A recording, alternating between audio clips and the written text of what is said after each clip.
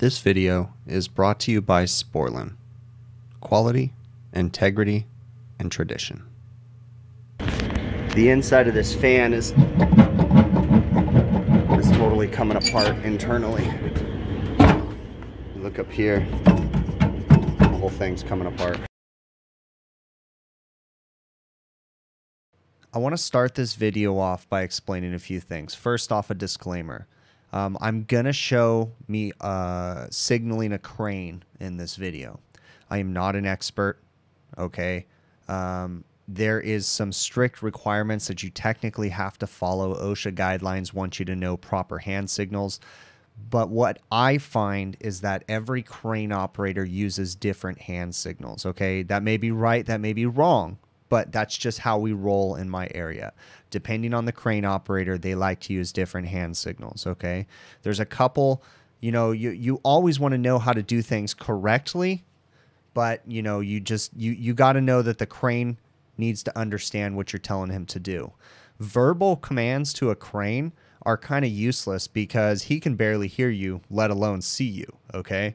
Um, of course, you know, in a perfect world, you've got a proper signaling person, all that good stuff.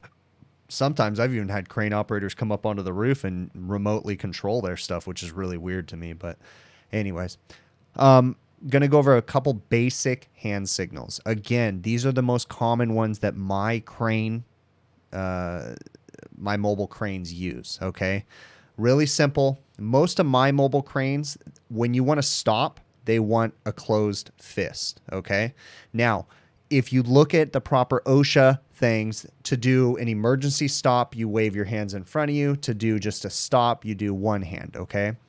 Um, I tend to use this one as the stop and then this one as the all done or emergency stop. Okay. Um, but that's just because that's what my crane operators usually want. My crane operators usually want this to be their stop. Okay. If I want the crane to travel in a, a left or right or move the boom left to right, usually you just give them a hand signal left, hand signal right. It's always best, I find, to, to motion when you're moving so that way they know that you want them to continue moving. Um, it's always best to, in my opinion, to always keep eyesight with the crane operator and make sure that he can see you, or at least he knows if you're going to step out of eyesight. Technically, if he can't see you, he's supposed to stop. Again, you guys, I am not a certified trainer for crane operating hand signals, all that fancy stuff. You need to take a proper training class for that, okay? Um, the next signals is hoist up, okay? And obviously, you want to exaggerate your hand signals as much as possible. Hoist down, same direction. Okay. Uh, very important one is boom down. Okay. So this is you want him to lower the boom. Okay. But understand when he lowers the boom, it's going to move the load. So, with that being said, if you want the load to stay in a set position somewhat, okay, it's not always perfect you can have him raise or hoist the load while he's lowering the boom. And simply, you show him to lower the boom and you open and close your fingers. And what that means is, is that as he's lowering the boom, he's going to lift the load up because obviously he's got a load hoisted by the boom, right? There's a cable coming down. And as he's lowering the boom, the load's going to drop too. Okay. But let's just say that we need to lower the boom and and you know because we need the whole load to move. So if i used this hand signal right here then what he would do is he would lower the boom and raise the load so that way the load doesn't hit the roof or something like that okay? Um, on the flip side let's say that we want him to raise the boom and lower the load okay? Move your hand like this. Simple as that. Or if you just want him to raise the boom but again, understand that if he raises the boom and he's got a load there, as he raises it, that load is going to move with the boom. Okay, so that's where this would come in handy. If you want him to raise the boom but keep the load at a certain, you know, or, or basically lower the load or whatever. Um, let me see. I have like a list of here because as I show this, you guys are going to see me using these hand, well, kind of see me using these hand signals. Um, that's pretty much it. Okay. Um, I'm going to try to overlay some hand signals as I'm using them during the video. Again, this is not like a super detailed one. This is one that I just threw together. The last thing I'm going to say is when I'm all done with the crane, okay, I will usually, again, make eye contact with the crane operator, make a noise so that way he realizes I'm, I'm, you know, trying to signal him or tell him something. Um, and when I'm all finished, I'm going to look at him. I'm going to give him a thumbs up. Okay. As he's usually low, lifting the load, or maybe he's got it suspended or something like that. I'll usually give him a thumbs up and then say, all done thumbs up you know usually he'll understand like hey okay this is we're done right i usually don't ever um, walk away until he's got the load or the whatever he's lifting off of my roof i usually like the load to be away from the roof and make sure that he can see everything um, we usually have someone down on the ground that's going to receive it um, you guys will see what i'm talking about and again need to understand you need to go to a proper crane safety class to understand uh, the proper hand signals, how to properly rig things. Um, you know, don't just trust what I say in a stupid YouTube video because I am in no way certified to train anybody on how to operate or give hand signals to a crane. Okay. Um, all right. Now that I've wasted a couple minutes of your life, on with the video. All right. We got an early morning. We're going to change this guy out. We've got a new fan. So, uh, should be a pretty easy swap out, no big deal. We've got a crane coming to make life even easier, so. We're gonna start by hoisting the load up and lifting it off the ground.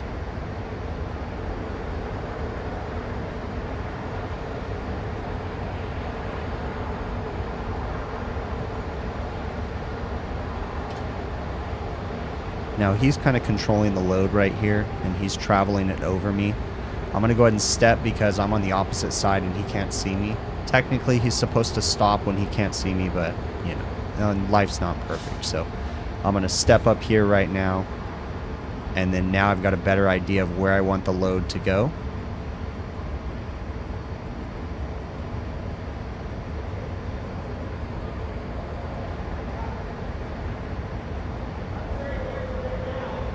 Okay, I'm having him make the boom travel.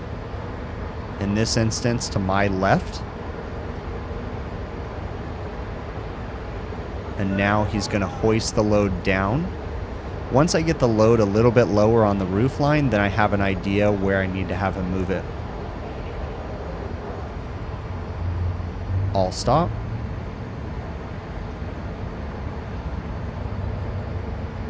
And now I'm going to have him lay the boom down. I want the load to travel with the boom, so I'm not having him hoist it up. He's just dropping the boom. Now I'm going to have him hoist down and we're going to set down the fan onto the roof.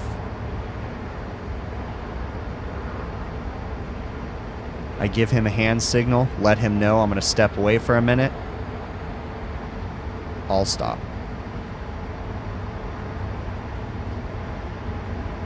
In a perfect world, I have multiple people on the roof to help me. On this job, I had one guy on the ground, and it was an easy enough lift that I could handle it by myself. So I'm going to go ahead and uh, rig the new fan up or, you know, take the straps out of the new fan, put them onto the old fan, and rig it up and get it ready to uh, lift all by myself. But, you know, you always want to be careful and make sure that you don't um, get yourself into a position that you're going to get hurt or anything like that. Like I said, this one was fairly easy, so I can kind of handle this myself. A really important thing right here, too, is we are using straps. Um, these straps are, are very heavy duty, so you can literally lift this entire fan with just one end of one strap. But in this situation, just to make it a little bit easier, I went ahead and used it, you know, and, and you'll, you'll see the way that I, I lift this fan. So I have four points of contact on the hook. But you got to make sure, uh, number one, that the straps are the exact same length and that you have them placed evenly on the fan so that way when it lifts up, it doesn't lift up in a weird angle or different direction. This goes for anything that you lift. And I've had crane operators give me straps and like, you know, two of them are longer than the other ones and it's like hey bro you know i need four straps that or you know i'm sorry two straps that are identical or if you're dealing with a big load four straps that are identical it's very important to make sure that the heat gives you the exact same length because you don't want to lift something unsafe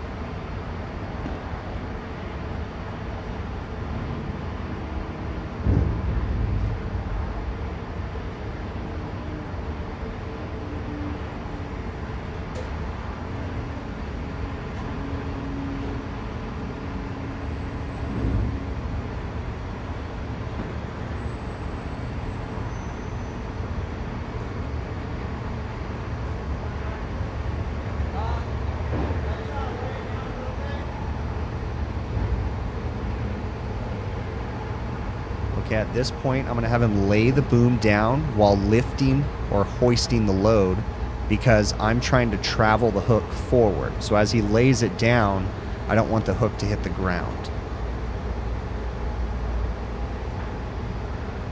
Now he went a little bit high, but all stop.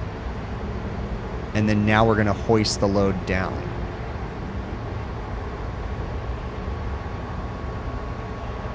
Again, all stop. And then we're going to go ahead and travel the load, in my case, to my right. And then we give him the all stop. And then at this point, I'm going to go ahead and hook it up. And because everything I set it up and they were all the same length as it was, this should be an easy lift.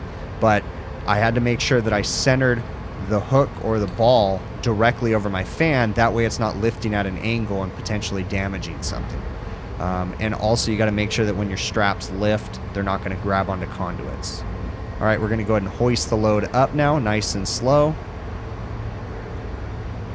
Once I see that I have a nice, clear, even lift, then I'm happy. And once he sees the load, I make sure that he can see it. Then I give him, I get his attention, give him a thumbs up, the stop, tell him we're good to go but I have to make sure that the load is off of the roof. Notice how I'm going to stand here and watch it because I want to see that load and he can still see me, but I want to make sure that load is completely off the roof. All right, we got our new fan. The crane's out of here. We're just going to set this guy on there and then we got some work to do. Conduit, hinge, and all that good stuff. So we'll get to it. All right, so this fan is not really heavy. It was just big, so that's why we used a crane just to be safe. Um, I'm going to set it on there. It's going to be big for the curb.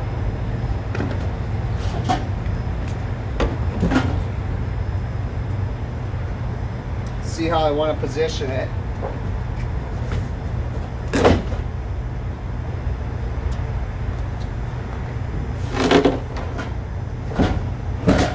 That looks... Um, trying to think if that's going to be a good idea because it has to be able to hinge. So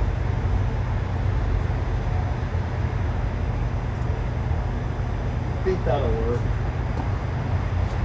trying to like predict what it's going to do when the hinge hinges, so I think I got it figured out. This little Milwaukee bandsaw kicks ass.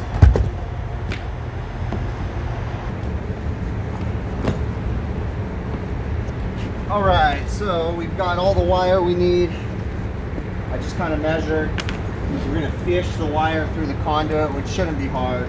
So what I do is I tape the end of it, so that way it fishes through real easy. Sometimes I get lucky and it'll push through. Sometimes I might have to disconnect the conduit.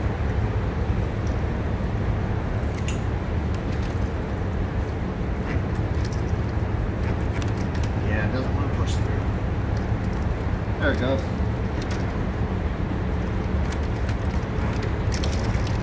We're good plenty of wire. So, okay.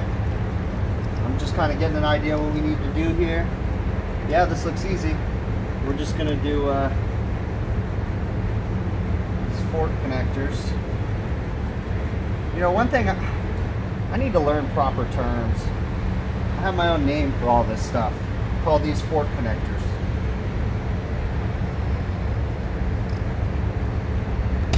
nice and snug. Always pull on them after, make sure they're nice and tight. There's no power hooked up, it's turned off.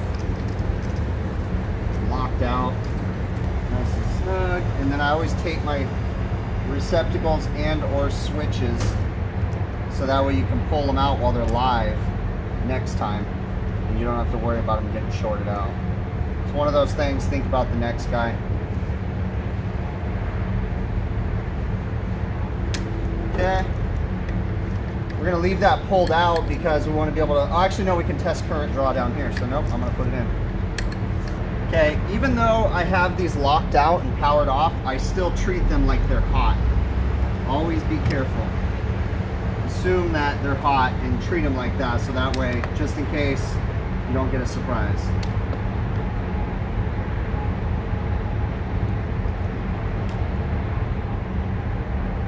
I'm gonna leave those untaped so I can check voltage. switch is off. Gonna go downstairs, turn power on, then we'll come up and test operation. Let's hope this thing doesn't blow up in my face. Um, nothing's in the wheel. Uh, but see, there's a paper. So I stick my hand in there, make sure there's nothing there. We're gonna turn it on and we gotta check rotation. And there's an arrow.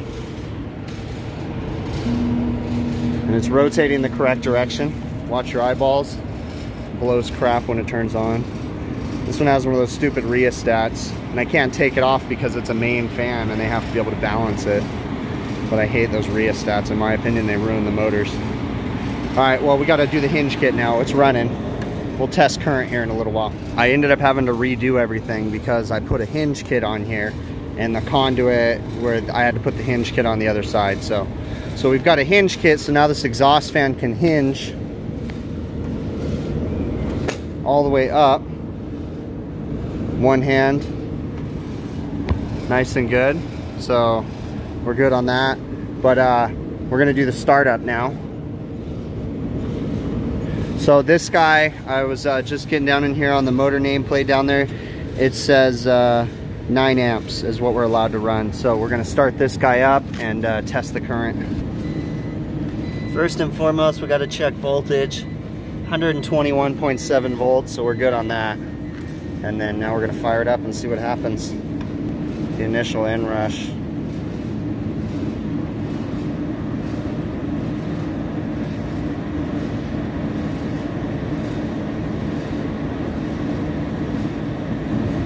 Gosh, this thing takes a long time to get up. 11 amps, so we're over amping. We're gonna give it some time, let it run for a minute, and then we'll probably slow it down.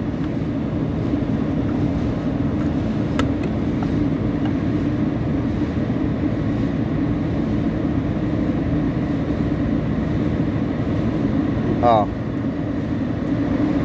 It was actually already slowed down. That's why I was running high amps. That makes more sense. So I sped it up.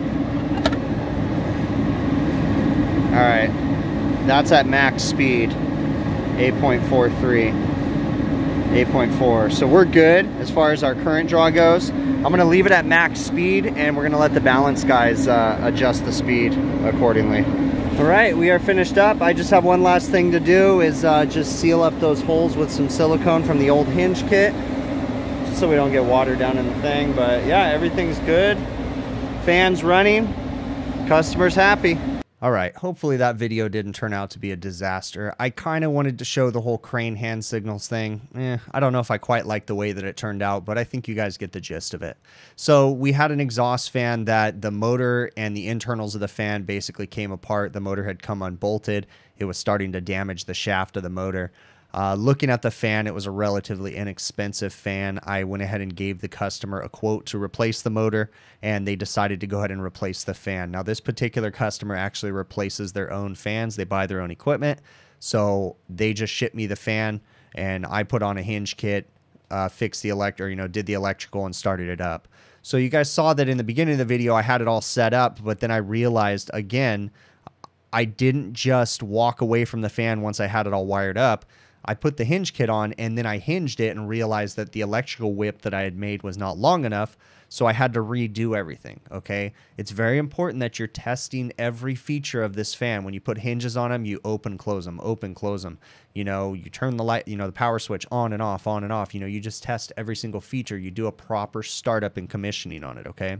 Um, now, I did find, um, I did mention in the video that this one has what I call those stupid little rheostats, the speed controllers, but it's not anything. It just basically reduces the voltage. It's I'm not a fan of these little rheostat speed controllers.